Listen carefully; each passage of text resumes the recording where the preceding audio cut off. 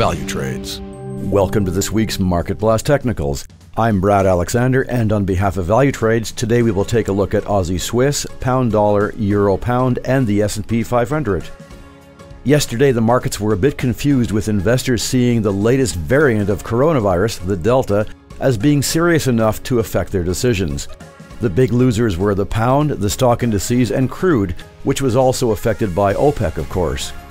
This, however, gives us a technical opportunity to buy the stock indices like the S&P 500, where we can buy the dip.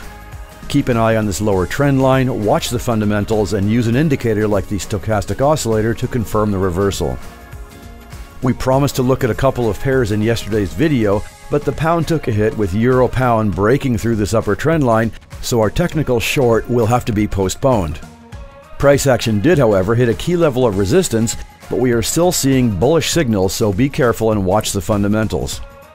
Also, the weak pound saw pound dollar breaking this level of support with more bearish signals, and if we look at the daily chart, we see price action trying to break this level of support from March.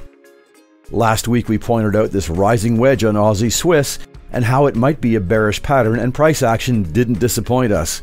We now see price at a key level from last year, and if we break this level of support, we have room to move even lower.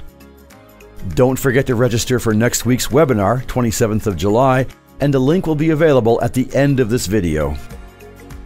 Thanks for watching and don't forget to subscribe to our YouTube channel and register on the Valutrades website to get notifications on new content as it happens.